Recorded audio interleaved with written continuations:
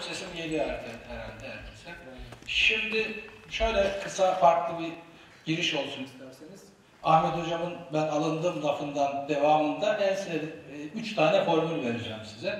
Bunlardan birisi Einstein'ın en sevdiğim formülü ego eşittir 1 bölü bilgi. Dolayısıyla eğer belli bir bilgi düzeyiniz ve kendinize güveniniz varsa egonuz olmaması lazım. Bu aynı zamanda ileride mühendislik hayatınızda çalıştığınız insanlarda çok farklı taraflarla hem yüksek hem e, sizin altınızda insanlarla çalışacaksınız. İşinize yarayacaktır. E, diğer formülleri aralarda sunum devam ettikçe vereceğim. Ben uçak mühendisliği okudum. 83 girişliyim. E, 87 yılından beri lift takviyeli beton üretiyorum.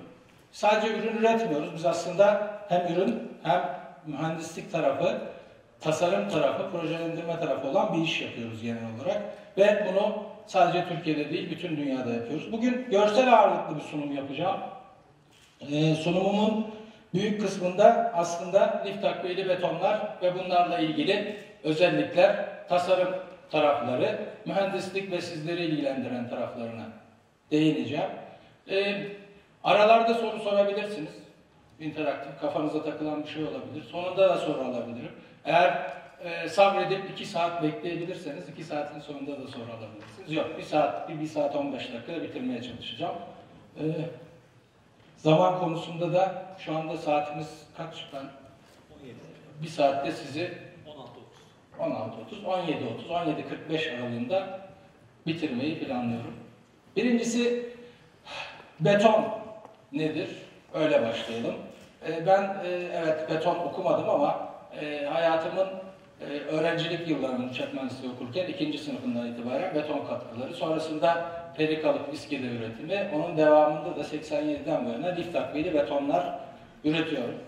E, öncelikle bir iş yapıyorsanız yaptığınız işi bilmeniz lazım. Dolayısıyla illa akademik olarak bunun eğitimini almadım ama e, kendi bu işi bir fiil fabrikada üretimde sonrasında bütün yayınlarıyla, dünya çapında bu konudaki bütün dokümantasyonla, akademik bilgiyle takip ederek bir şekilde kendimi bu konuda geliştirdiğimi düşünüyorum.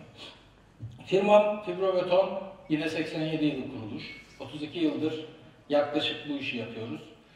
Ana işimiz yine dediğim gibi lift takviyeli beton. Birazdan firma ile ilgili de bilgiler vereceğim. Betona dönelim. Beton size derslerde öğretilen en basit işte su çimento, agrega ve bir miktar havadan oluşan kompozit bir malzeme. Basitçe tarifi bu. Ama bugün beton tasarımcılar, mimarlar tarafından, yapımcılar, inşaat mühendisleri tarafından, e, inşaatla ilgilenen altyapı, üst yapı bütün sektörlerde açık ara bana göre en çok kullanılan malzeme. Bunu hem yapısal tarafta hem kaplama ve e, mimari tarafta betonu bu kadar sevdiren birkaç tane konu var. Bunlardan birincisi beton içine farklı malzemeler koyabiliyorsunuz. Nedir? İşte e, kimyasal katkılarla beton özelliklerini geliştirebiliyoruz. Onun dışında donatılar koyabiliyoruz ki bugün ana konumuz farklı donatı türleri. İşte lif donatılar, çubuk donatılar, farklı malzemelerden oluşmuş beton donatıları. Dolgu malzemeleriyle betonun özelliklerini geliştirebiliyoruz. Belli farklı özellikler katabiliyoruz. Bunun dışında beton içine yine puzolan dediğimiz tek başına bağlayıcı olmayan ama betona değişik özellikler katan farklı malzemeler girebiliyor. Ülkemizde betonun bir standardı var. Yeni yayınlandı 2014 TSN 206 e, ve bunun tamamlayıcı standardı da TSN 13515. Ben aynı zamanda meslek yüksek okulunda arkadaşlarla uygulamalı özel betonlar dersi de beraber yapıyoruz. Özellikle bir konu sizin e, meslek hayatınız boyunca önemli olacak standartlar ve standartları kavramak. Çünkü yaptığınız her işte bir malzeme kullanacaksınız. Bir de insan kullanacaksınız. İnsan tarafını biraz önceki konuşmacılar çok güzel anlattılar. Yani yapacağınız işin bir tarafı insan, diğer tarafı da malzeme. Dolayısıyla insanı da iyi bileceksiniz ama malzemeyi de iyi bileceksiniz. Malzemeyi bilmenizin en önemli yönü standartları doğru kavramak. Standartlar niye var ve hangi malzemeler hangi standartlara göre yapılıyor? Ülkemizin temel standartlarla ilgili durumu nedir? Onun için de ben sunum yaparken hep belli standartlardan bahsedeceğim. Sunumun orta yerinde bir yerinde size bu standartlarla ilgili yapı malzemeleriyle ilgili bir teknik şartname kavramı var. Onu kısaca anlatacağım. Dolayısıyla o kısma kadar belki biraz sıkıcı bir sunum olabilir ama ondan sonrası tamamen görsel olacak. Yapılan binalar ve işlerle ilgili. Şimdi biraz önce ne dedik? Beton içine tasarımcının kendi isteğine göre değişik malzemeler katarak, değişik özellikler vererek, üretim şeklini istediği gibi değiştirerek, karışımın içindeki tüm malzemelerle oynayabilerek, oynayarak kendine özel hale getirebildiği bir malzeme. Dolayısıyla özel betonlar betonun e, bu kadar çok sevilmesinin sebeplerinden biri. Özel betonlar sadece e, görsel amaçlı değil, bir sürü farklı fonksiyonu da yerine getiriyorlar. Geniş açıklıklar, ince kabuklar, kaplama özellikleri, dış etkilere dayanım, yapısal yükleri altında çalışma gibi farklı özellikleri betona eklemek mümkün. Yeni yeni işte duyuyorsunuz işte kendini tamir eden beton, ışık geçiren beton ya da farklı yeni özelliklerde beton türleri de üretilmekte. Dolayısıyla beton aynı zamanda hem sahada kullanıma uygunken hem de üzerinde araştırma yapmaya, e, bir şekilde akademik olarak kullanmaya ve e, üniversitelerin ilgisini çekmeye devam ediyor. İleride de devam edecek. Bu yüzden betonu bir yapı malzemesi olarak yapının her alanında ama doğru şekilde kullanmayı öğrenmek, onun o bölgelerdeki standartları, yapım şekillerini öğrenmek mühendis olarak sizin işlerinizden biri. Dolayısıyla ben bugün buradan başlamak istedim sunuma. Mühendislik açısından size betonu anlatmak üzere. Şimdi birkaç beton türü, demin konuştuk özel betonlar dedik. Farklı beton birkaç türe bakalım. Mesela normal beton. Bu değerler hani bilgi olsun diye buraya koydum. Belki fotoğraflarını çekersiniz.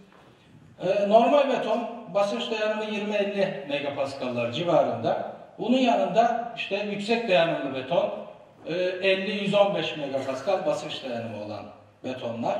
Bunların eğilme dayanımları oldukça düşük ve birbirine yakın. Ee, sonrasında e, ultra yüksek dayanımlı beton dediğimiz bir beton türü 115-350 megapaskal, işte 8-10 megapaskallarda e, eğilme değerleri daha yükseldikçe bizim ürettiğimiz iki tür beton var fibrobeton olarak. Ultra yüksek dayanımlı betonlar ve lif takviyeli betonlar. Lif takviyeli betonlar içinde de kendi içinde bir sürü farklı liflerle betonu takviye ederek kullanmak mümkün. Fibrobeton olarak biz cam lifi takviyeli beton üretiyoruz. Dolayısıyla cam lifi takviyeli betonun püskürtme yöntemiyle üretileni işte basınç dayanımları 50-80 megapascal ama eğilme dayanımları normal betonların çok üzerinde. E, elastisite modülleri oldukça düşük. Ultra yüksek dayanımlı betonlarda ise elastisite modülleri tam tersine çok yüksek. Birisi esnek bir malzemeyken biri çok kırılgan ve döktür bir malzeme. Ama basınç dayanımları birbirinden oldukça farklı. Dolayısıyla farklı türde betonları farklı amaçlarla kullanabiliyoruz. Şimdi projelere geldikçe ne tür amaçlarla ne tür betonlar kullanıyoruz göreceğiz. E, niye lif takviyeli beton? Birincisi betonun e, basınç dayanımı oldukça yüksekken genel olarak bildiğiniz gibi eğilme ve çekme dayanımı düşüktür. Dolayısıyla eğilme ve çekme dayanımı isteyen, özellikle enerji yutma kapasitesi yüksek olacak kaplama gibi veya farklı değişken yüklemeler altında kalan yerlerde kullanmak üzere beton içine lif katarak eğilme dayanımlarını yükseltebiliriz. Lifleri farklı şekillerde katmak mümkün. Sonra atmosferik şartlara daha dayanıklı bir malzeme haline getirebiliriz. Daha kesitleri ince üretip ağırlıktan tasarruf edebiliriz. Dolayısıyla yapısal yükleri azaltabiliriz. Servis yüklerine karşı daha yüksek farklı dayanıklılıklar nedir servis yükleri? Deprem yüklerimiz var.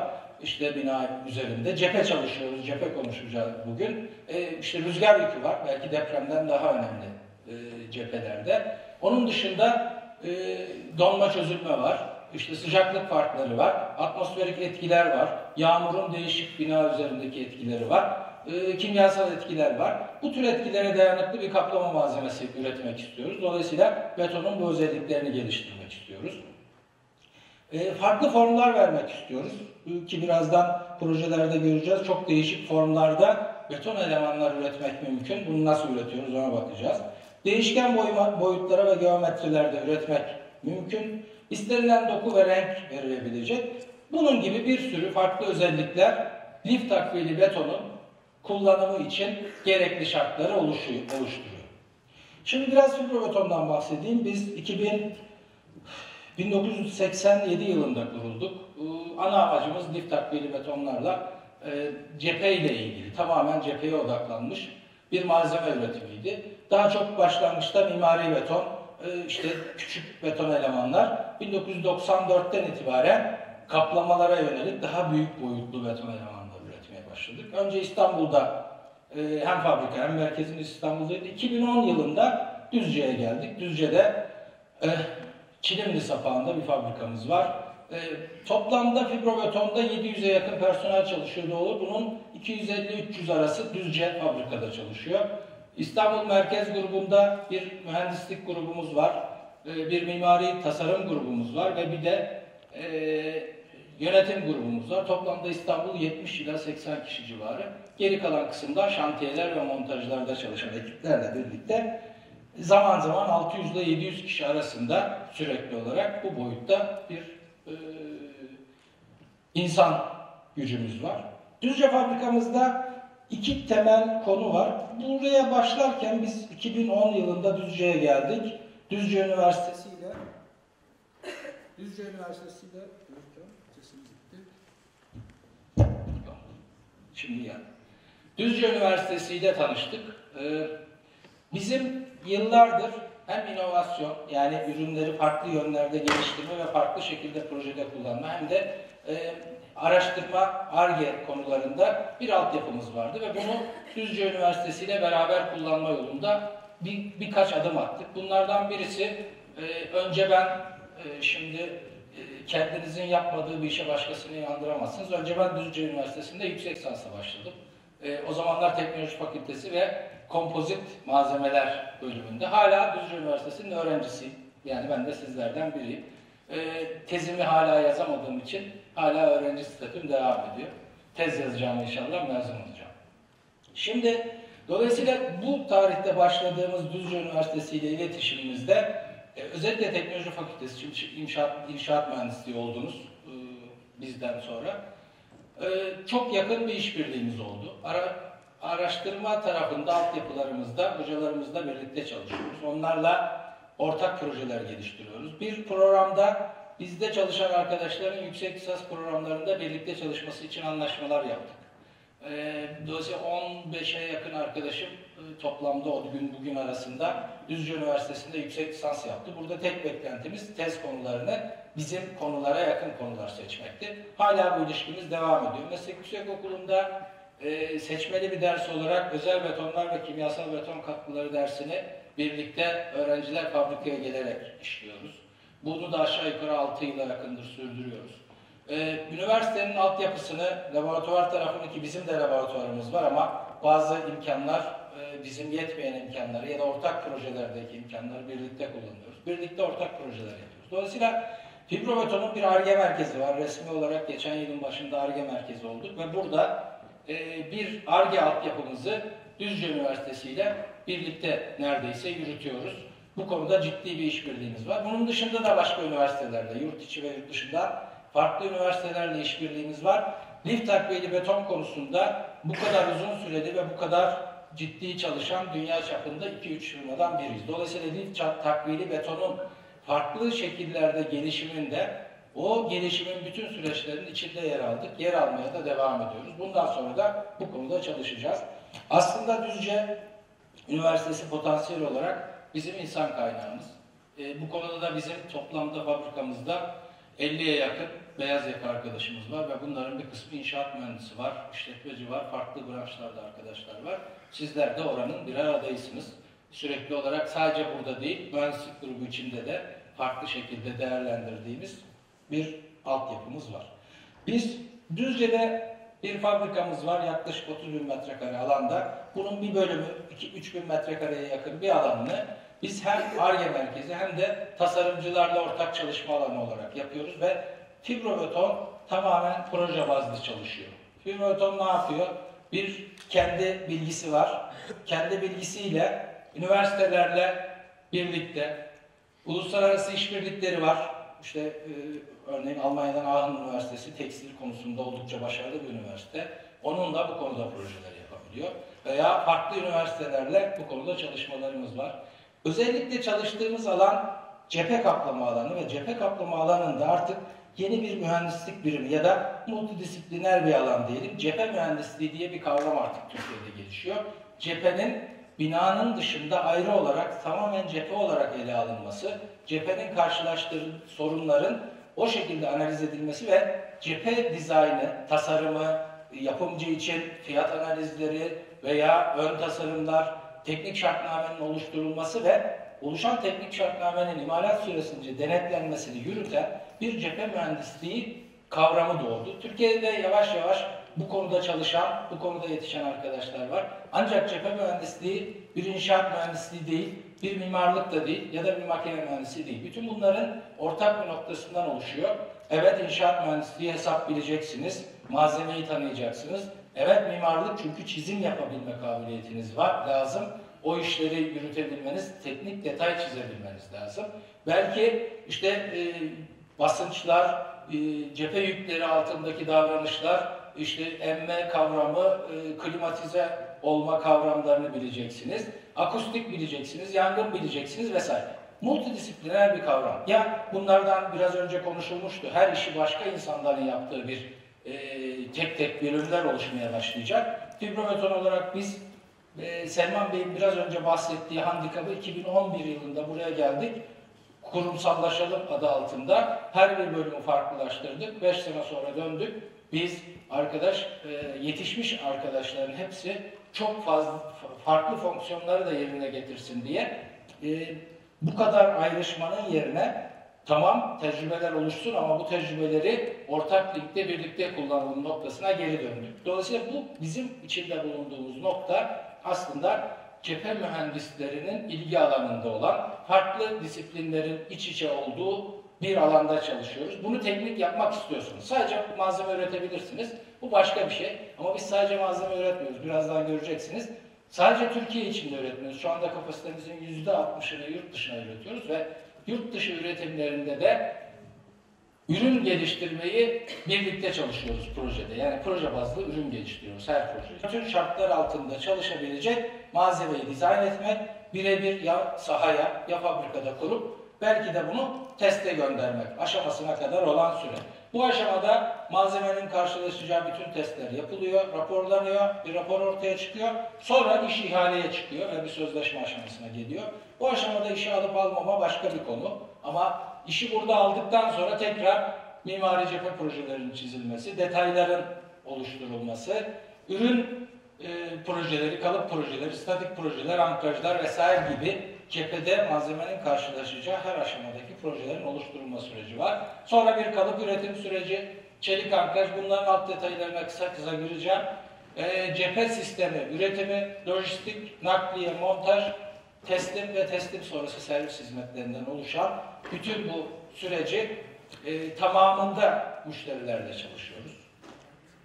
Şimdi Lif takviyeli betonu biraz daha girelim. Nedir? İşte lif takviyeli beton içinde çimento ve agreganın yaklaşık 1 bölü 1'e yakın oranda kullanıldığı bir miktar su, polimer, katkılar, mineraller, mineral olarak metakaolin ya da e, uçucu kül gibi çok ince taneli mineraller kullanıldığı, alkali dayanıklı cam lifinin belli oranda ki burada kullanım oranı %4, %3 ile %4 arası 1 metreküpte 80-100 kilogram civarında kesilmiş lifin kullanıldığı, işte su çimento oranının %30-35'lerde olduğu cam lifi takviyeli beton ana malzemeleri bunlar. İki türü temelde var. Lifin önceden betona karıştırılmasıyla üretileni, bir de lifin püskürtme sırasında betona karıştırılarak üretileni. İkisinin arasındaki temel fark, ikisi arasındaki eğilme değerlerinin farkı püskürtme sırasında katılan lifleri daha uzun boylarda kırılmadan katabildiğiniz için enerji kapasitesi daha yüksek bir lif takviyeli beton elde ediyoruz. İşte bu lif püskürtme yöntemi, e, bu piramit döküm yöntemi. Kullanılan lifler alkali dayanıklı beton içindeki alkali e, malzemelere karşı korozyon olmama özelliği taşıyan zirkonyumu işte %17'nin üzerindeki cam lifini kullanıyoruz. E, fabrika üretiminde yine standartlara dönelim. Mesela e, bütün ürün giriş kabullerini için TSN 1169 standardı var. Bu standart hangi sıklıkla nasıl ürün giriş kabulleri yapacaksınız? Çimentoyu nasıl dene, deneye tabi tutacaksınız bu iş için? Hangi sıklıkla bunu yapacaksınız? Ya da giriş yapan tüm malzemelerle ilgili size bu şartları sağlıyor. Bir checklist sistemiyle tüm ürün süreç kontrolü var. Bu süreç boyunca bütün ürünü izliyorsunuz ve bütün ürün aşamalarında tek tek bir sonraki aşamaya doğru geçmesini sağlıyorsunuz. Ana standardı cam lifi takviye üretim TSN 1170 birden 8'e kadar bütün fabrika kontrollerini anlatan burada lif içeriği, lif boyutu, e, eğilme değerlerine bakın, e, donma çözülme değerleri ya da yıpranma değerleri gibi bütün ürünün değerlerine bakan bir standart. Bir de Türkiye'de zorunlu olan TSN 12467 genel olarak çimento grubu ürünler için zorunlu standarttır.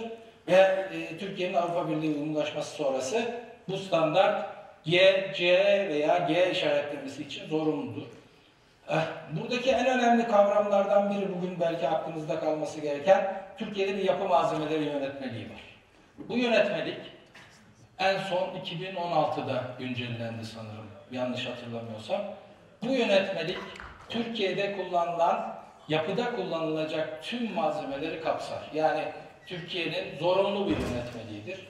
Ee, aslında sahada uygulamasında ciddi sıkıntılar olan ama e, mevzuat açısından e, ciddi ileri düzey bir yönetmeliktir ve bu yönetmelik içinde e, Türkiye'de CE ve G işareti olmayan hiçbir malzeme yapıda kullanılamaz. Net. Yani üzerinde C işareti ya da G işareti olmayan hiçbir malzeme. Yani Türkiye'de TSE kavramı yoktur. TSE belgeli olacak diye bir kavram da yoktur. Aklınızda kalsın. Çünkü en çok yapılan yapıdaki malzeme konusundaki yanlışlardan biri bu. TSE'li malzeme aramak. Artık TSE'li malzeme diye bir malzeme Türkiye'de yok. Türkiye onu terk etti. Terk edeli 10 yıldan fazla oldu. Ve C işaretine geçti. Yani zorunlu Avrupa Birliği ile uyumlaştırılmış zorunlu standartlarımız var ve Türkiye'de yapıda kullanılacak tüm malzemeler ya C ya da G olacak. C ile G'nin farkı ne? Hiç, zorunlu standardı olan bir malzeme üretiyorsanız hakkında zorunlu standart varsa C işareti alır. Zorunlu standardı henüz gelişmemiş. Yeni bir malzeme üretiyorsunuz. Onun için e, Türk Standartları Enstitüsü ya da onun onay verdiği kuruluşlardan e, teknik onay almanız zorunludur. Bir teknik onay dokümanı. Bu da standarda giden yoldur. Dolayısıyla Türkiye'de e, yeni bir malzeme de üretseniz G belgesi, G işaretini vurmanız, bunun altyapısını yapmanız gerekir. Bu iki fark siz bir tarafta malzeme, bir tarafta da insan var. İnsan tarafını farklı konuşalım ama malzeme tarafında en önemli kavram C ve G işaretidir ve şantiyenizde C ve G işareti olmayan ki şartnamelerde bunun üstünde de istenebilir. Çünkü C ve G işareti askeri standartları belirler. Hiçbir malzemeyi sokmamanız lazım. Bir başka şey teknik şartnameler. Teknik şartnameler bizim iş yapışımızın ana unsurlarıdır. Burada hem standartlar vardır hem de standartlar dışında istenebilecek özel şartlar olur. Bunlara göre firma bir barkod otomasyon sistemimiz var. Tamamen kendimize özel yaptığımız. Belki bir gün aslında sizin üçüncü sınıfta planlama dersleri var mı? Planlama derslerinde anlatabileceğim bir konu özel. Bunu endüstri mühendisliği e, bölümlerinde anlattığım bir sunumum var. Endüstri mühendislerine planlama anlatmak. Planlama bu işin olmazsa olmaz üretimin, montajın ve bir sürü farklı işi bir arada yapıyorsunuz. Olmazsa olmaz parçası. Sizin de olmazsa olmaz işlerinizden biri. Aslında teknoloji de bunun en büyük yardımcısı. Biz de teknolojiyi bir otomasyon sistemi gibi e, barkod sistemiyle yürüttüğümüz, yönettiğimiz bir sistemimiz var. E, her bir aşaması ürünün bir barkod okumasından geçiyor. Dolayısıyla bir sonraki aşamaya doğru olmayan ürün geçemez demektir. Barkod okumasını bilgisayar üstünde yönetebiliyorsunuz. Dolayısıyla hangi aşamada ürün barkod okumuyorsa orada bir şekilde bir revizyon gelmiş demektir. Çünkü proje bazlı çalışmaların ve inşaatın en büyük sorunu revizyonlardır. Sürekli olarak proje değişir, update olur, revizyonlar olur. Bu revizyonların en uçtaki kılcal damala ulaştığı an doğru proje yapılır. Eğer bir revizyon var ise bir konuda farklı bir şey düşünüyor olabilirsiniz. Bir proje verdiniz sahaya ama değiştirmek istiyorsunuz. Projede sahada 5 yere gitmiş olabilir. 20 tane ustanın eline gitmiş olabilir. Oradaki en uca kadar gidip bu projeyi alabilecek bir sistem kurmazsanız eğer, siz revizyon yaptınız, sahaya yayınlasanız bile o ulaşana kadar bir sürü yanlış devam ediyor demektir. Revizyonlar uygulama tarafının revizyonları doğru yapmak ve revizyonlar sırasında tüm üretimi doğru şekilde yenisine çevirmek aslında sahanın en büyük problemlerinden biri. E, bununla çok karşılaşacaksınız. Bunun bir sistem altında, biz bunu barkod sistemiyle kendi içimizde yönetiyoruz. Belki sahada böyle bir şey yok ama sahanın da problemlerinden biri bu. Onun dışında ISO 9001, 14001, OAS 18001 var. Bir de uluslararası üretici, bizim uluslararası bir derneğimiz var. Onun da onaylı üretici belgesine sahibiz. Türkiye'den bu belgeye sahip bir üretici var. Dünyada da 4-5 üretici şu anda bu belgeye sahip. Şimdi bizim işimizin en önemli yönü evet bir tasarımımız var ve bunu üretmek için kalıba ihtiyacımız var. Kalıp için bir tasarım söz konusu. Nasıl yapılacak, nasıl sökülecek? Kalıbın e, bir tarifi betonun içine konduğu, hidratasyon boyunca şeklini aldığı ve orada sertleştiği ana malzeme kap. Beton kalıbı adı veriliyor. Beton kalıbı olarak biz her türlü malzemeyi kullanabiliyoruz kalıp olarak. Nedir? İşte e, ahşap, çelik, alçı, polyester, cam, MDF, plastik her malzemenin üzerinde betonu ayıracak yönteminiz varsa kalıp olarak kullanabilirsiniz. Farklı işler için farklı kalıplara ihtiyacınız olur.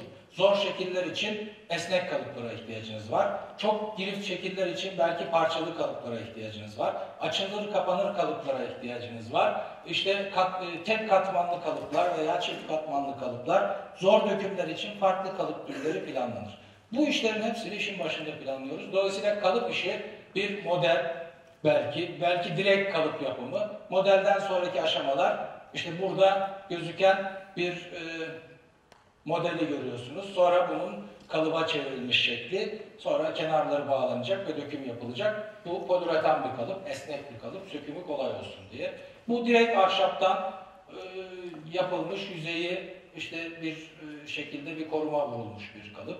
Bu bir e, CNC'de bir model, bunun üzerinden başka türlü bir kalıp alınacak. Bu konuda eğer merak olursa bir fabrika, fabrika gezisi planlamanız mümkün olabilir.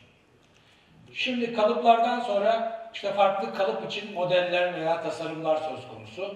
Bu model mesela 8 metreye 20 metre tek parça bir model. Ee, bunun üzerinden parçalı bir kalıp alımı. Burada mesela birkaç katmandan oluşan bir kalıp tasarımı söz konusu. Önce böyle bir modelin tasarlanması lazım. Bu Rusya'da bir binanın cephesinde çok küçük bir rölyefi mimar çok büyük bir rölyefe çevirmek istedi. Önce oradaki rölyefin fotoğrafları, sonra burada küçük bir prototipi, ondan sonra bir taramayla bir e, kaba bir yüzey e, ne diyelim üç boyutlu e, datası çıktı. O data CNC'de işlendi. CNC'den sonra o kaba data ince el oymasıyla oymacılar tarafından işlendi. Sonra bu şekilde bir model haline geldi. Bu modelin üzerinden taşınabilir boyutta küçük kalıplar alındı. Sonra o kalıplara ürün döküldü. Şimdi o ürünler naklediliyor. Şimdi bu aşamalar bu kadar girift olabiliyor. Bunların aşamalarının her birini baştan doğru planlamak gerekiyor. Veya dijital kalıpların yapımı, işte CNC ortamında, e, üç boyutlu tasarım programlarında örneğin Rhino, Katya veya benzeri program, Revit gibi bir programlarda tasarladığınız bir ürünü e, buradan e, CAM datası olarak veriyorsunuz. Oradan bir kalıp üretiyorsunuz ve o kalıbı kullanıyorsunuz. Sonra tabii bu dijital kullanım bu kadarla bitmiyor bizim işimizde. Sonra ürün üretiyorsunuz ve beton ürünlerin bir shrinkage dediğimiz bir kavramı var. Yani beton hacimsel olarak küçülüyor. Dolayısıyla e, kalıbı ona göre dizayn etmeniz lazım. E, mesela fibrobetonun e, shrinkage miktarı binde beş. Diyelim ki binde beş şu demek, bin milimetrede beş milimetre hacimsel olarak oynayacak malzemeniz üretimden sonra. E, bunun dışında ısıl genleşme var, hareket ediyor. E, nem alırsa ona göre hareket ediyor. Dolayısıyla aslında çok kolay olmayan bir arka plan var ve orada iyi çalışmanız lazım. Birkaç yere değineceğim. Şimdi çok fazla bu konuya girmeyeceğim. Şimdi e, fibrobetonda en çok ne dedik? Cephe yapıyoruz. Cephede e, malzemelerle ilgili mimari e, yak, şeyler öne çıkıyor. Tasarımcının istekleri öne çıkıyor. Mimar cephede ne istiyor? Renk istiyor. Örneğin bu betonda renk yapılabilir mi? Betonda evet renk yapılabilir. Bunun bir standardı var. Bir standart içinde beton içine e, pigment adını verdiğimiz toz boyalar katarak betonu renklendirmemiz mümkün. E, bu tarzda e, pigment olabilecek malzemelerin e, inorganik malzemeler yani beton içinde bir reaksiyona girmeyen malzemeler olması lazım. Genelde toprak grubu tonları demir oksitler, işte yeşilde krom oksit gibi veya farklı doğal e, kayaçlar veya malzemeleri bu tarz pigmentler için çok ince öğütüp çimento tanesinden daha küçük boyutlarda öğütüp beton içinde kullanıyoruz. E, ve bu şekilde renkli beton elde ediliyor. Peki beton yüzeyine tekstür adını verdiğimiz e, yüzey dokuları aktarmak mümkün. Bunun için tekstür kalıpları var. Bunlar esnek olabilir, rigid olabilir, farklı özelliklerde olabilir. Bunlarla beton yüzeyine farklı dokuları aktarmak mümkün. E, bu dokularla ilgili işte neler yapılabilir? Hangi dokuyu nasıl aktaracağınızı önceden planlarsınız ve beton yüzeyine bunları aktarabiliyorsunuz. Bunlarla bu şekilde tekstürlü yüzeyler elde etmek mümkün. Betona istediğiniz formu verebilirsiniz. Yeter ki doğru şekilde planlayın. Mesela burada bir metre çapında işte tek parça bir küre boşluklu betonda dökmek mümkün. Ee, bunun kalıbının yapılması, döküm şeklinin tasarlanması, sonra sökümü, betonun içinde orada yaşaması, e, prizini alması süreçleri, bütün her şeyi doğru planlarsanız farklı ve istediğiniz formda beton elemanlar üretebilirsiniz. Tabi bunun lif takviyeli olması ince kesitlerde üretmenizi, işte daha özel şekiller verebilmenizi sağlar. Farklı boyutlarda ürünler üretebilirsiniz. Temel boyut sınırı taşıyabilmeyle sınırlı. E, fakat taşıyabilen çok büyük boyutlarda ürünler ürettiğinizde bunun özellikle montaj yerinde yani ömrü boyunca kalabilmesi de önemli. E, genel olarak cephe kaplamaları bina ISO standartlarına göre 50-60 yıl arasında ömürle üretilmeli. Bunların hem malzemesi hem ankraj yerleri hem detayları. Dolayısıyla bu dizaynlarda ve boyutlarda buna dikkat ediyorsunuz. Yüzeylerde farklı agrega bitişli yüzeyler yapmanız mümkün. Mesela kumlamayla bir yüzey elde etme. Bunlarla ilgili hepsiyle ilgili uygulamalar da birazdan göstereceğim. Bu arada saatimiz nasıl gidiyor? Beş. Biz beş buçuktan bitireceğiz. Ee, kumlama yüzeyler, beton yüzeyinde değişik şablonlarla kumlama yüzeyler elde etmek mümkün.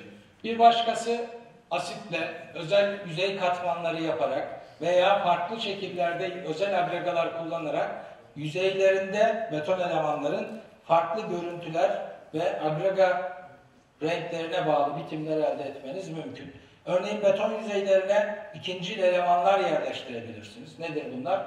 Ee, tuğla, e, terakota, seramik vesaire bunları kalıp içine dizerek üstüne beton döküp bu şekilde kaldırıp cephe elemanları yapmanız mümkün.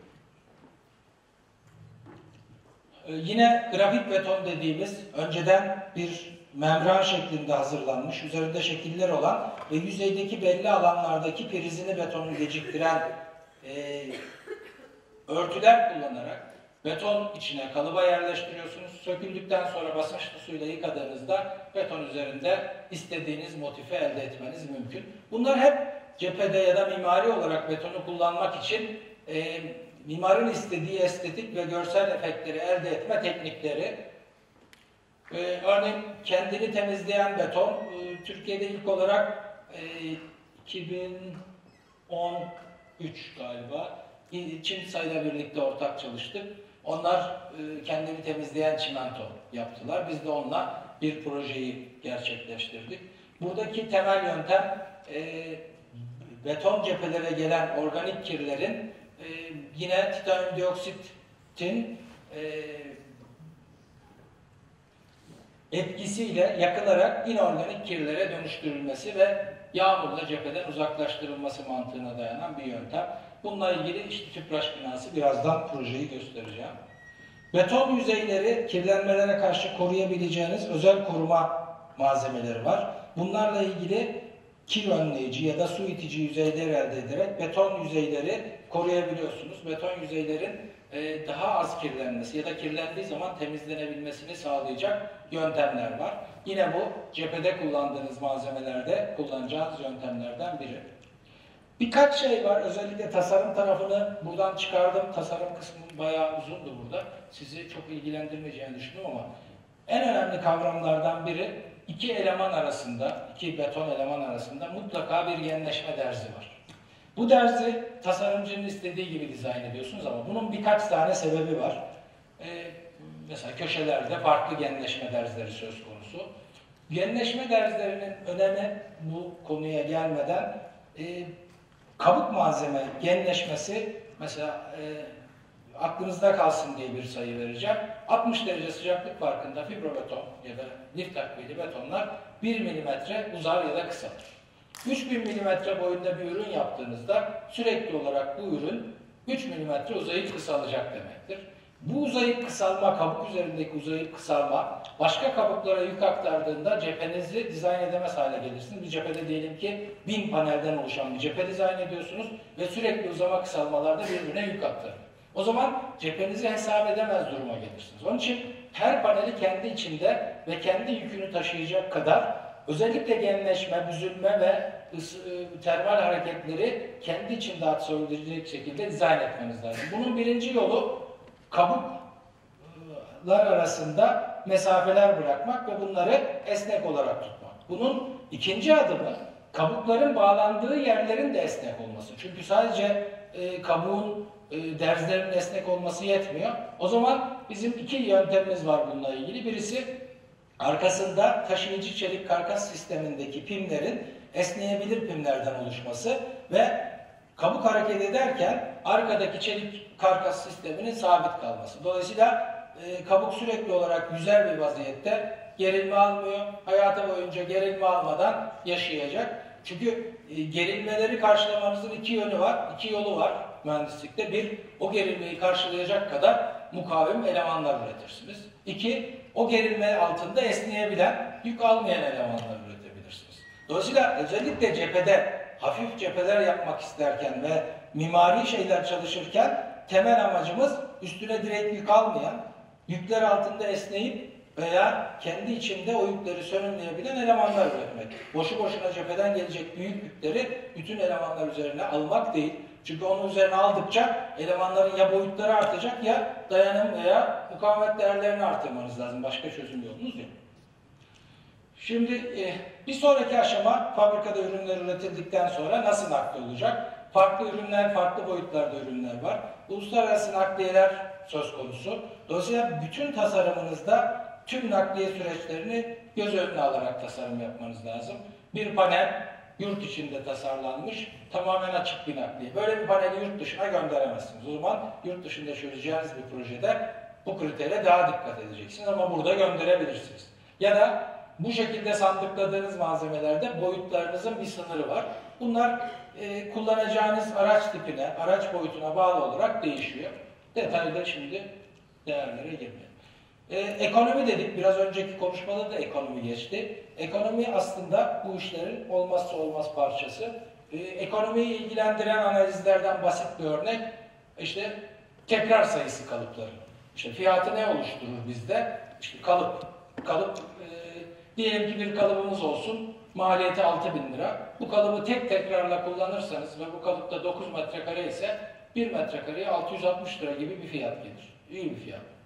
Peki bu kalıbı 60 kullanabiliyorsak eğer bu fiyat 11 liraya düşer. Dolayısıyla bir ürün dizayn ederken e, evet yani e, maliyet bir yerde, para bir yerde başka bir tarafta yine parça başına montaj işçilikleri, panellerin optimum boyutları. Çok küçük paneller dizayn ederseniz onun montaj işçilikleri yükselecek. Çok çok büyük panellerde onun vinç ve taşıma maliyetleri yükselecek. Dolayısıyla ikisi arasında bir yerde şantiyelerinizin imkanlarına göre bir dizayn yapmanız lazım. Orada da maliyet etkili. E, taşıma maliyetleri bir kamyona ne kadar panel yükleyebiliyorsunuz ya da bir tıra ne kadar yükleyebiliyorsunuz? Bizim uluslararası taşımalarda örneğin 200-250 metrekare yüklemeler söz konusu farklı boyutlardaki malzemeler için konuşuyorum. Yurt içinde de 80 ile 120 metrekare arasında kamyon yüklemeleri değişebiliyor. Şimdi bunu alt sınırdan yüklediğiniz zaman, üst sınırdan yüklediğiniz zaman aralarında %50 fiyat farkı var. O zaman yüklemeler de bizim maliyetlerimizden biri. Bunun gibi bu alt açılımları inebilirsiniz aşağı kadar. Kullanılan malzemeler, işçilikler vesaireler gidebiliriz. Şimdi bir toparlayalım burada. Cephe ile ilgili, cephe konuştuk. Cephe ile ilgili e, temel standartlar ve yönetmelikler. Şimdi e, malzeme işinde, e, yapım işinde üç temel standart konuşuyoruz. Birisi tasarım standardı. Maalesef ülkemizde bir tasarım standardı kavramı henüz gelişmedi. Yani tasarımlar bir standartla yapılmıyor. Ama devamında olan iki tür standart var. Bir malzeme standardı. Yani ürünle ilgili standartlar. Örneğin TSN 206 bir malzeme standartıdır. Ya da TSN e, 1170 bir malzeme standartıdır. Ya da malzemenin kullanılacağı yerle ilgili standart kavramı. Buna da performans standartları diyoruz. Performans standartları cepheyle ilgili birkaç tane sadece aklınızda kalsın. İşte e, yangınla ilgili standart TSN 13501.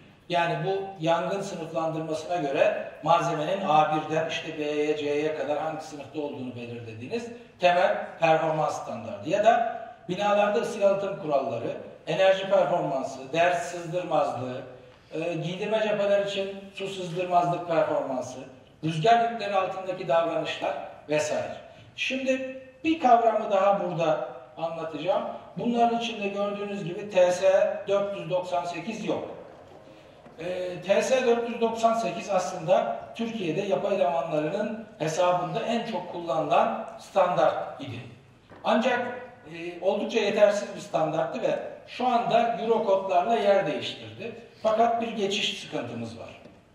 Eurokodlar e, TSN 1991'den 1999'a kadar bir standart grubu ve yüz binlerce sayfa. Maalesef henüz tam olarak hepsi Türkçe'ye çevrilmedi ve ek standartları yayınlanmadı. Ama kötü haber şu, e, Eurokodlar şu anda Türkiye'de zorunlu standart.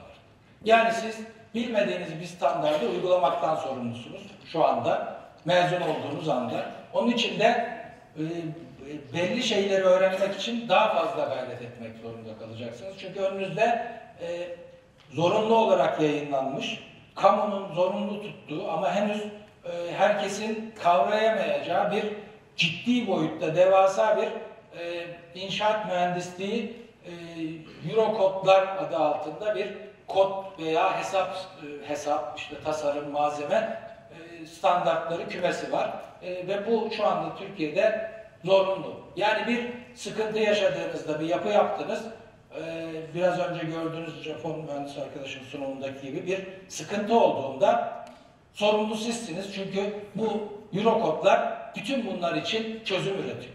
Doğru kullanırsanız var. Peki e, kamu herhangi bir şekilde zorunlu, sorumlu, ola, sorumlu olabilir mi burada? Bu Eurokodlara göre onları zorunlu tuttuğu için onlar yırttılar.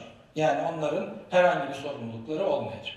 Hesap ve mühendislik konuları için söylüyorum. Onun için e, mühendislik yapacağınız alanlarda sorumluluklarınız kamunun da vazifelerini üstüne almış durumda. Mezun olana kadar bunu aslında kavrayın. Yani çok kavramsal bir şey söyledim. E, bunu şu anda anlama şansınız bence yok ama çok büyük bir sorumluluk tamamen uygulamacıların üstüne yıkılmış durumda. Bir sorun olduğunda bürokrasi ortada yok demektir. Şimdi Yönetmeliklerimiz var. İşte deprem bölgelerinde yapılacak binalar hakkındaki yönetmelik, yapı malzemeleri yönetmeliği biraz bahsettim. İsi yalıtım yönetmeliği, yangın yönetmeliği, gürültüye karşı korunma yönetmeliği ki gürültü yönetmeliği biliyorsunuz bu yılın başında çıktı. Cephelerle çok ilgili ama bütün yapıyla ilgili ve gürültü yönetmeliğine göre oldukça bütün konsept aslında değişecek. Şu andaki bütün yapım tarzlarımız değişecek. Bütün cephe dizaynı değişecek, yapı, duvar dizaynı değişecek. Bunun da uygulaması bir zaman alacak ama zorunlu bir standart olarak var. Su yalıtım yönetmeliği şu anda taslak. Çelik yapıların tasarım, hesap ve esas yönetmeliği bu da 2016'da yayınlandı. Yeni. Eskiden de buna benzer şeyler vardı ama kapsamlı olarak yayınlandı. Eurokodlar bu cepheyle ilgili ama bunun bir kısmı yapının diğer bölümleriyle de ilgili. Sadece cepheyle ilgili değil. Çok ciddi bir e, mevzuatımız var. Bunları bilmek durumundasınız. Bunlara hakim olmak durumundasınız. Ve bunları bilince iyi işler yapabilirsiniz. Şimdi bir şey teknik şartname anlatacağım. Sonra sizin daha çok seveceğiniz görsel neler yaptık o kısımlara geleceğim. Şimdi e, lif takviyeli beton üretecekseniz eğer bunu doğru üretmeniz lazım. Çünkü işin içinde bir tarafta demin bir sürü konuda dikkat çektiğim malzeme var. Bir tarafta da işçilik var. Bu iki, iki şeyin birleşimiyle yapılıyor lif takviyeli beton ve çok nazik bir malzeme. Ufak bir hata büyük sonuçlar doğuruyor. Dolayısıyla doğru şekilde yapılmalı ve projelerde sizin tarafınızdan inşaatta yapımcı olarak lif takviyeli betonla bir iş yaptıracaksanız doğru şartnameyi yazıp üreticisine, uygulayıcısına, montajcısına, bu işle ilgili tasarımcısına vermek durumundasınız. Doğru şartnamenin ana unsurları bunlar işte tanım, ilgili bölümleri, referans ve standartlar doğru şekilde yazılmalı. Kalite güvence sistemi neler olacak? İşte ham madde giriş kontrolleri nasıl yapılacak, ne, ne yönden kontrol edeceksiniz? Sunumlar, işte bir ürün ürettiğinizde bunu idareye nasıl sunacaksınız? Mockup mı yapacaksınız? Çizimleri tek tek mi sunacaksınız? E, nasıl onay alacaksınız? Bunun belli olması lazım. Garanti süreçleri, işte ham madde özellikleri, çelik karkas kullanılacaksa özellikleri, ürün özellikleri, fabrikasyon nasıl kontrol edilecek? Çünkü proje bazlı ürün üretiyoruz. E, Mockup uygulaması, şantiye sahası, montajı, tamir, temizlik, bakım, müşterinin konulması ve kabul yöntemleri. Doğru bir şartnamenin içinde bunlar doğru şekillerde yer almalı ki bunu tüm diğer malzemelere de bir şekilde uygulayabilirsiniz. Siz doğru teknik şartname elinizde olacak.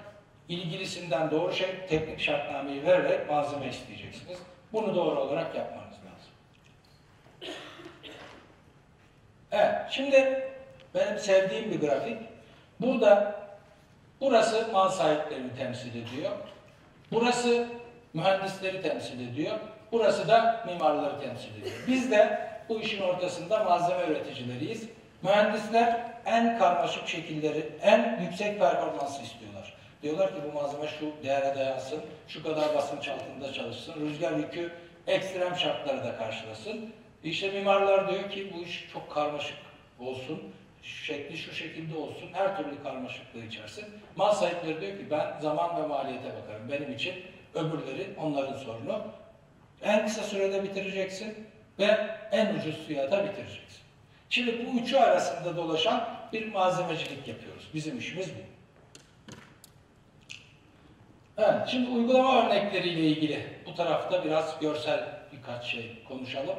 Ee, fibrobetonda biz yukarıda anlattığım temel ihtiyaçlara göre yani mimarların istediği e, estetik kaygılar, mühendislerin istediği cephe kaplama için performans kriterleri, mal sahiplerinin istediği süre, fiyat ya da karmaşıklık ya da özel işler gibi alanları birleştirerek işler yapıyoruz. Bunları belli işte markalarımız var. Cephe kaplamaları yapıyoruz.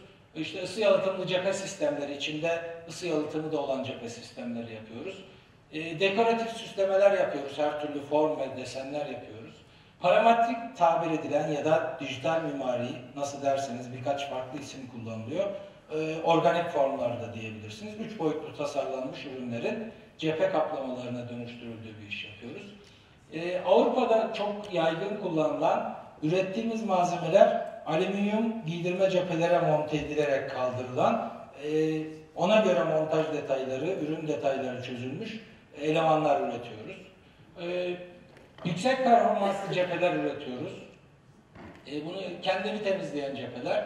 E, güneş kırıcı türü veya perfore elemanlar, boşluklu beton elemanlar. Bunlarla cephe. Işık geçiren beton türleri var birkaç türde. Bu tarz elemanlar üretiyoruz. Ee, ince beton lamaller veya e, çok uzun ince değişik boyutlarda mimarların istediği narin elemanlar üretiyoruz. Ee, üç boyutlu iç mekanlar için duvar panoları üretiyoruz. Bir de kent mobilyaları işimiz var. Ana sistemlerimiz bu. Bunlarla neler yaptık? Ee, en çok çalıştığımız kesim tasarımcılar, tasarımcılarının farklı isteklerine göre çalışmalar yapıyoruz. Bu ilk göstereceğim örnekler Antalya Bienali için tasarımcılarla geliştirdiğimiz geçen yılki örnekler. Mesela burada toprak, alçı toprak karışımını kalıpladık ve Antalya'da bir Bienalde bir mimari grup tasarımı birlikte geliştirdik. Böyle bir sergi yaptılar. E, bu tarz şeyler malzemeyi geliştirmek ve kullanmak için ilk adımlar ve oldukça değerli. Yani sonrasında belki ürüne döndüğü zaman başka şeyler girecek ama işin içine tasarımcılarla çalışmanın zevkli taraflarından biri bu. Bir başka tasarım işte gerilmiş kumaş kalıpları üzerine yine püskürtme yöntemle dökülmüş ürünler. Mesela burada bunun hem hesap yöntemlerinin geliştirilmesi hem de bunun üretilmesi. Belki ileride bunlar bir strüktür ya da farklı amaçla kullanılabilecek yapıların ilk adımları olacak. İçi boşluklu yapıda ve farklı şekilde tasarlanabilen e, notlanmış ürünler üretme gibi. Ya da yine bir tasarımcının böyle bir hayali var. İşte tekerlek takıp yürüttüğü bir kabuk dizayn etti. Ya da böyle bu şekilde yekpare küreler. Bunlar uç tasarım örnekleri olarak veya böyle bir bölme duvarlar için özel tasarlanmış beton elemanlar üretimi. Yine iç mekanlarda kullanılabilecek küçük boyutlu, yapıştırmaya yönelik küçük e, iç mekanlar için beton kaplamalar. Bunlar seramik veya şey betondan üretilmiş bu tarz elemanlar. Ve devamında şimdi e, özellikle birkaç projenin üstünde duracağım. Sonra uygulamalar. Bu proje e, Kapital'in e, Moskova'da bir proje. E, mimarı geçen yıl ölen Zaha Hadid e, ünlü bir Mısırlı, Mısırlı değil, e, Iraklı, İngiltere'de yaşayan bir mimarın tasarımıydı. E, 2008 yılında başladık cephe kaplama işine. 2011 yılında dış kabuk bitti. 3 yılda iç kabuk sürdü. 2014 yılında da iç kabuktaki kaplamalar bitti. İçiyle dışı tamamı özel tasarlanmış, 3 boyutlu dizayn edilmiş e, ve tamamı 3 boyuttan kalıplara aktarılabilecek şekilde rayna üzerinde tasarlanmış. Bütün detayları, yaşam mekanları, her şeyi 3 boyutlu tasarlanmış bir bina. Bu binanın cephesinin geliştirilmesinde mimari ofisle birlikte çalıştık. 3 e, boyutlu e, bütün yüzeyler birbirinden farklı. Mesela 1100 parça var burada ve her yüzey birbirinden farklı. Mimarın bize verdiği çizim bu. E, üç boyutta tasarlanmış, herhangi bir elemanları belirlenmemiş bir temel yüzeyler. O yüzeylerin üzerinde panelizasyon çalışması. Yani mimarın çalıştığı aynı ortamda, üç boyutlu ortamda çalışıp bu elemanları belli panellere indirgemek. E, bu panellerin arka montaj detayları, işte kabuk sistemini çözmek. Bu kabuk sistemini çözdükten sonra bunun işte kalıplaması ve üretimi. Burada işte e, nominal datanız var. E, sizin ürettiğiniz kalıbınızın yüzey taraması. Bunları karşılaştırabiliyorsunuz. Ya da farklı ürünleri karşılaştırdığınız tersine mühendislik aşamaları var. Sonrasında montaj detaylarının çözülmesi ve binaya montajı montaj sonuna kadar buradaki montaj da üç boyutlu koordinat sistemiyle olmak durumunda. Yani bu tarz bir organik yapıyı siz metreler metre tutup ölçerek yapamazsınız. Aynı üretimde kullandığınız yöntemde üç boyutlu Ürtotal Station sabit bir eksen takımı ve eksen takımındaki koordinatları bina üzerine taşıyıp sabit bir koordinat sistemine binayı alıp sürekli olarak tek bir koordinat sisteminde binayı çalışmakla monte ediyorsunuz. Montajında bu şekilde yapıldı. Sonrasında işte montaj aşamaları, başlangıcı, bitim aşaması, evet bitmiş aşama. Bu ikinci proje Kutaysi, Gürcistan'da bir bina, parlamento binası. E, mimar ilk önce böyle bir kabuk tasarladı. E, çelik bir örtünün üstünde bu kabuk ve bu kabuğu yerinde 8 santimlik betonla dökmeyi düşünmüştü. İspanyol bir mimari grup çalıştı. Ancak buradaki çelik hareketi çok yüksek ve bu boyutta bir kabuğu yerinde dökme yöntemle e, yapabilecek şekilde çözemediler. Sonra biz devreye girdik ve bunu e, bina üzerinde e, onlar TEKLA'da çalışmışlardı projeyi. TEKLA üzerinde biz de bu kabuğu modelledik. Bunların da her bir geometrisi farklı. Yaklaşık 600'e yakın farklı panelden oluşan 16 bin metrekareye yakın büyük bir yüzey. Bu yüzeyin tüm kaplaması burada üretildi. İşte ankraj detayları, alttaki çelik strüktüre bağlantı detayları çözüldü. Yerine montajına varıncaya kadar bu projede 2013 galiba. Burada Düzce'de yaptığımız ilk projelerden biri Düzce'ye taşındığımızda başladık. 2011. 2012'de de bitirdiğimiz bir proje. Ankara'da bir proje mimar e, büyük paneller istedi. İki kat geçsin panelimiz. İşte 4-4,5 metre. Örneğin bu panel 30 metrekare. E, bu panelin yüzeyinde e, kendi şantiyesinde döktüğü bir düşey yüzeydeki brüt beton yüzeyinin aynısını tekrar etmek istedi. E, yani yüzeyde özel bir tekstür istedi. 28 metrekarelik bir panel. Bu tekstürü dökmek için sadece aynı tekstürü yakalamak için böyle 30 santim, 4 metre, 7 metre, 8 tane falan duvar döktük. En sonunda yakaladık. Hocamın da Serkan hocamla beraber hatırlar bir kış ayında. Ee, sonra bu paneller üretildi, binaya takıldı. Sonrasında farklı özel çözümleri olan ve çok e, zorlukların arkasında bizim bildiğimiz bir bina ortaya çıktı. Ee, kendini temizleyen betonla ilgili proje Çimsa, Çimsa ile birlikte çalıştık. İzmit TÜPRAŞ'ın merkez binası, yeni yatırımı. Yine 2012 yılında e, İtalyan bir mimar İtalya'dan malzeme getirmek üzere tasarlamıştı. Çünkü kendini temizleyen beton o sıra sadece İtalya'da üretiliyor. Oradan getirmek üzere tasarladığı bir yapı. Çimsa ile bizim ortak çalışmamız o dönemde e, birlikte o çimentoyu geliştirdi. Biz istediklerimizi söyledik. Mimara bu işin burada daha iyi olacağını ikna etmek için oldukça uğraştık. 6 ay civarında bir süreç tasarımcıyı ikna ile geçti. Ama sonunda yapıldı. Ee, hassas elemanlar, her biri yine farklı geometride elemanlar. Zemin dahil burada yine 8000 metrekareye yakın birbirinden farklı elemanlarda. Yerine montaj dahil bitmiş proje. Açık derzli bir uygulama. Arkasında bir yalıtım var. Derzler açık. Ee, yine bu projede e, iki üniversite, Düzce Üniversitesi ve Ahın Üniversitesi ile birlikte çalıştık. Üçüncü köprünün, e, Yavuz Sultan Selim Köprüsü'nün tepesindeki e, kaplamalar. E, öncelikle başlangıçta Hyundai projenin köprü tarafını yapan inşaat firması e, 10 santim kalınlığında normal beton tasarlamıştı burayı ama büyük betonlar ve vinç kapasiteleri sınırlıydı ve vincin o kadar çalışma süresi yoktu. Bu kabuğu inceltmek istediler. İnceltmek istediler ve burada kabuk ömürleri 100 yıl olmak durumunda. E, projenin kullanılacak tüm malzemeler için 100 yıllık bir ömür söz konusu. Bunun teorik verilmesi için birkaç aşama gerekti. Birisi e, teorik hesap tarafı, onu Ağan Üniversitesi ile yaptık. Bu teorik hesabın dayandığı deneyler onu burada Düzce Üniversitesi'nin merkez laboratuvarında Serkan Hocam'la beraber yaptık. E, bir başka tarafı özel dokuma lifler, üç boyutlu lifler kullanıldı içinde. Bu lifler özel olarak bu iş için üç boyutlu olarak geliştirildi. E, bütün testleri yapıldı. Montaj detayı çeliklerle e, bu kaplamalar yerde monte edildi.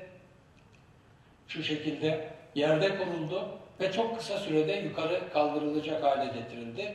E, vinç kapasiteleri 15 tondu ve her üst blok 10 e, parçadan oluştu. 10'ar parça olarak yerlerine kondu. Toplamda 40 blok olarak kondu. Toplam e, 4000 metrekarelik bir alan kaplandı ama e, özel tamamen buraya özel bir ürün geliştirme, yöntem geliştirme ve e, işlem sonucu oldu. Bunlar e, bundan sonra yapılacak bir sürü farklı projenin de önünü açtı. Gürcistan'da yine bir proje. Burada mimar binanın dışında bu şekilde özel bir fin eleman tabir ettiğimiz ince narin 15 santim kalınlığında 1,5 metre çıkıntısı olan elemanlar tasarladı. Bunun da bütün ürün geliştirme süreci, üretimi, her bir eleman farklı boyutta yine burada da gördüğünüz gibi. Ne kadar zamanım var benim? Beş buçuk. Var mı bir 15 dakikanız? Var var zaman problemi yok. Keyifle dinliyoruz. Öğrenci arkadaşlarım var mı? Tamam. Ee, Türkiye'de İstanbul'da bir proje. Burada da e, mimarın tasarladığı binanın cephesindeki bütün beyaz elemanlar üretimi, nakliyesi ve montajı. Burada çelik karkaslı bir cephe kaplaması, mekanik montaj e, ve e, bazı bölgeler tamamen e, farklı formlarda, işte binanın bitim elemanları. E, buradaki çatı dahil bütün kaplamaları, cam dışında kalan alanlar fibrobetonla kaplandı. E, Düzce Üniversitesi'nin Teknopark binası. E, bu binada da yine tasarımcı burada eğrisel formlar kullanmıştı. Eğrisel formlar bütün e, büyük pencereli elemanlar şeklinde dizayn edildi. Bu şekilde bütün pencere, yalıtım vesaire bütün sistem yukarıdan. E, burada genel olarak bizim montaj sistemimizde kule vinç kullanımı çok fazla yok. Çünkü kule vinç çok fazla işe gidiyor o aşamalarda. Hem ince yapı var, kaba yapı var vesaire. Dolayısıyla biz kendimiz e, bazı binalarda, imkan olan binalarda yukarıda bir ray kuruyoruz ve bu raya asılı e, zincirli ya da halatlı vinçlerimiz var.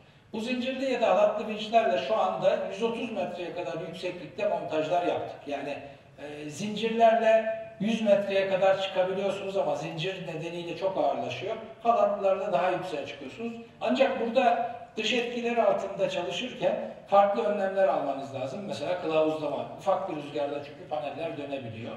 E, tehlike arz edebiliyor. Onun için saha çalışmasında e, pratik bazı bilgiler, tecrübeler edinmek gerekir. Onun için ciddi bir tecrübe edindik bu konuda da. E, aşağı yukarı 30 yıldır bu tarz montajlar yapıyoruz. E, İstanbul'da bir alışveriş merkezi. E, burada mimar bilgisayar ortamında bir tekstür geliştirdi. Bu tekstürün maksimum boyutu 9 metre. Dolayısıyla yatay bir bölüm istemedi. Buna özel 3 metreye 9 metrelik, içinde yalıtımı da olan bir tekstür dizayn edildi. Hem eğrisel formları var, hem e, düz formları var. Bunlar binaya bu şekilde bakın, e, tamamen tekstüre uygun formda. Bu 6 metre paneller, şu panel 9 metre yüksekliğinde. Burada hiçbir yatay eki olmadan dairesel ve eğrisel yüzeyler bina üzerinde kaplandı. Tamamen bu projeye özel bir ürün. Yine bu ürün. Bitmiş hali projenin. Yine İstanbul'da başka bir projede tasarım bu şekilde farklı geometriler içeren bir tasarım. Bunun da üç boyutlu çizimi, ürün tasarlanması, mühendislik hesapları e, ve yerine montajına kadar bütün aşamayı e, 2016 yılında bitmiş bir proje. Ön cephesi farklı, arka cephesi farklı geometride. Ee, Antep'te bir proje. Mimar Antep'in en çok bulunan kaya renklerine uygun, işte baklava dilimine ve baklava şekline uygun bir tasarımla yola çıkmıştır burada da. Ee, ama proje e, yine e, farklı yüzeyleri olan, bir sürü farklı yüzeyin ara kesitle birleştiği özel detayları olan bir proje. Burada da geometri çok önemli. Birazdan göreceksiniz. Yani buradaki hiçbir kenar düzgün kenarlar değil. Bu baklava dilimlerinin burada sönümlenmesi ve farklı geometrilerde çizilmesi hepsi üç boyutlu e, tasarımla ancak mümkün olabilir. Çünkü buradaki her köşe eleman özel bir ürün. Yani her biri için özel kalıp, her biri için özel çalışma. Aralarda tekrar edenler var ama köşeye geldiğinde bütün geometri değişiyor.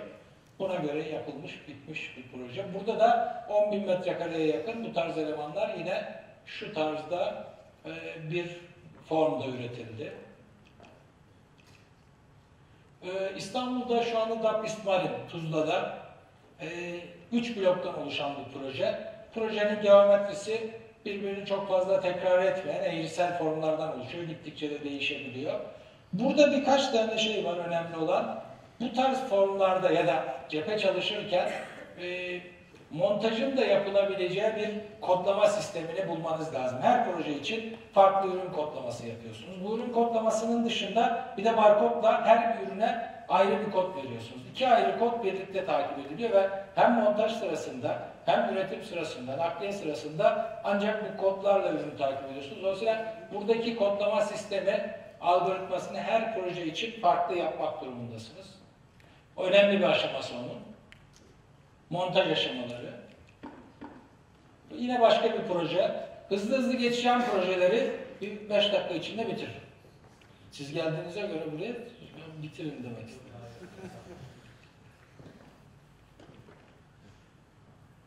Birkaç yurt dışı proje de göstereyim. İstanbul'da Marmara İlahiyat Camii Türkiye'deki ender çelik strüktürü olan camilerden biridir. Tüm taşıyıcı sistem çelikle yapıldı. Bu çelik sistemde şu mesafeye kadar iç ve dış tüm kaplama bir takviye beton, fibrobetonla kapladık.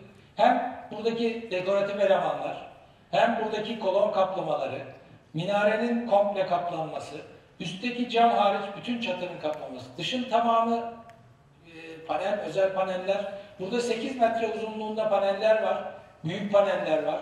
Buradaki şu kolon ayakları tek parça. Mimar tamamen burayı kendine özel bir proje olarak çalıştı. Buranın mimarı aslında İstanbul'un girişinde bir Mimar Sinan Camii var. Yeni yapılan Ataşehir'de. Onun mimariydi. O bu projeyi yaparken söz almış bir başka projeyi kendi istediğim gibi yapacağım diye. Bundan sonraki ilk projesi buydu. Cami mimarisinin üzerinde çalışan bir mimarımız. Böyle bir proje çıktı ortaya. Farklı görünüşler, işte kafes elemanlar, kaplamalar, bitimler. Bu Londra'da bir proje. Buradan üretip gönderdiğimiz. Orada yerde cama, cam, işte alüminyumu vesairesi birlikte yerde monte edilip balkonu dahil komple cepheye kaldırılan bir sistemle yapılıyor. Şu anda Londra'da çok sayıda inşaatı çok hızlı büyüyen bir yer oldu Londra. Onun için orada çok fazla bu tarz ihtiyaç var. Mesela bu bina şu anda tamamlanmış Canetto projesinin bitmiş hali. Buradaki şu balkon uçları da dahil. Yüzeyler e, burada asitle bitirilmiş agrega bitişli e, kuars görünümlü beyaz kuars ve cam agrega karışımı bir yüzeydir. Güneşte hafif parlayan bir yüzey. E, İstanbul'da Koç Müzesi şu anda devam ediyor. E, burada mimar, İngiliz bir mimar, cephede çok farklı bir geometri istedi. E, bu geometride hem bu şekiller, bu şekillerin her bir yüzeyi farklı işlem. Bir tarafı kumlanırken öbür tarafı parlatılıyor falan. Yani çok e, değişik e, ve zor aşamaları olan bir proje oldu. Bittiğinde böyle bir proje olacak.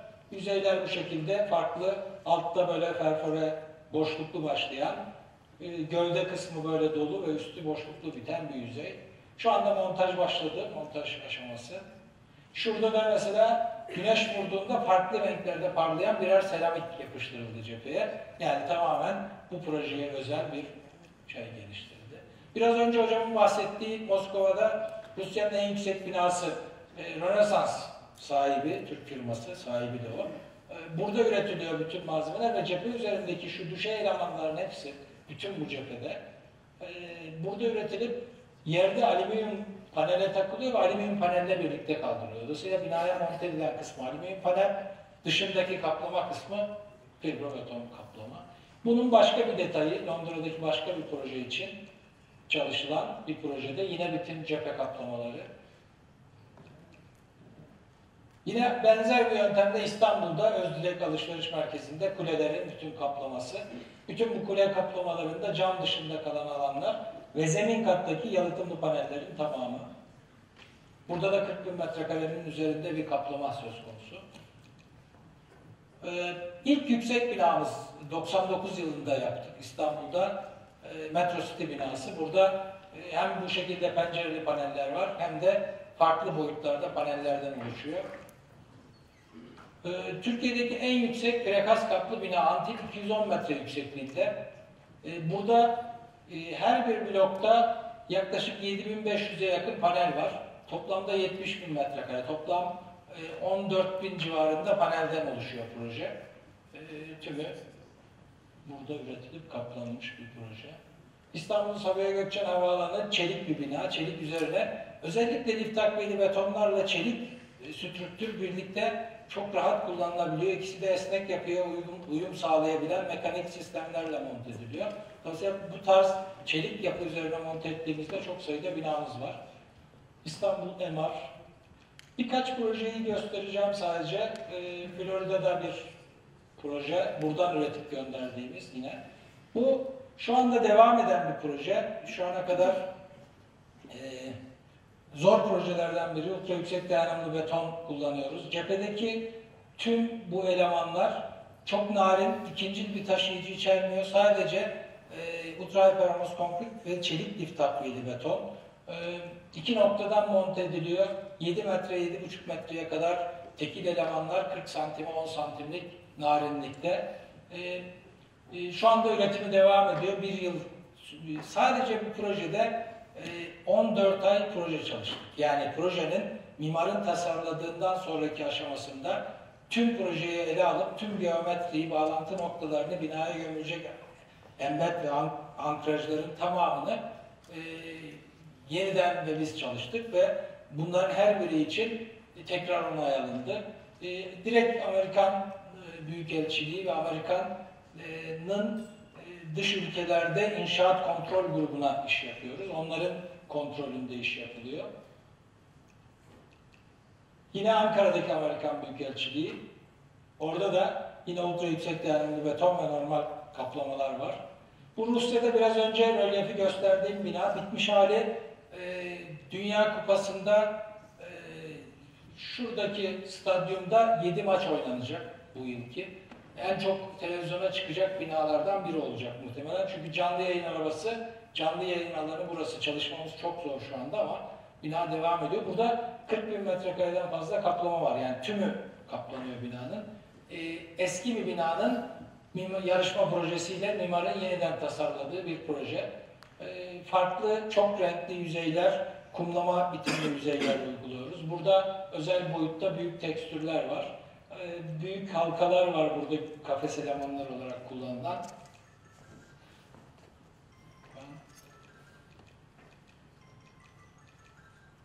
Böyle sonra gelip bırakacağım. Başka. Evet. Biraz uzattım.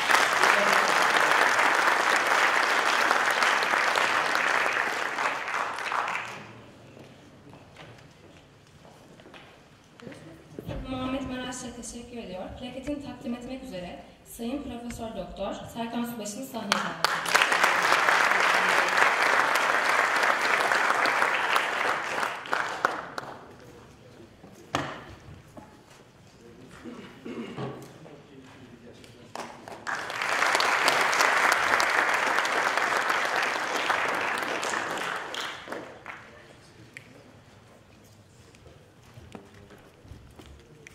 Arkadaşlar çekilişlerimiz var.